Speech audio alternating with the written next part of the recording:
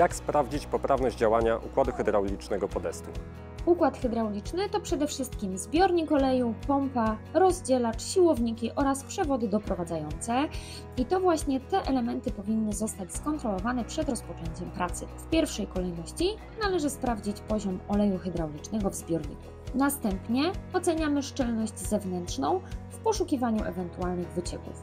Takie wycieki mogą być przy przewodach hydraulicznych, przy łączeniach przewodów, przy rozdzielaczu, zaworach zwrotnych, przy siłownikach należy skontrolować też powierzchnię pod podestem i za podestem. Następnie sprawdzamy działanie układu hydraulicznego, czyli zadajemy funkcje i oceniamy, czy realizowane są płynnie, jednostajnie, czy nie ma nienaturalnych dźwięków podczas zadawania funkcji. Sprawdzamy działanie zaworu przelewowego poprzez zasterowanie funkcji do skrajnego położenia mechanizmu bez obciążenia i nasłuchujemy charakterystycznego syku, buczenia przelewanego oleju. Kontrolujemy szczelność wewnętrzną, sprawdzamy wykonując próbę szczelności układu hydraulicznego w taki sposób, że nominalny ładunek podnosimy na wysokość pośrednią, mniej więcej połowa y, możliwości wysokości podnoszenia urządzenia. Pozostawiamy w ten sposób obciążoną platformę na jedną godzinę i podczas tej godziny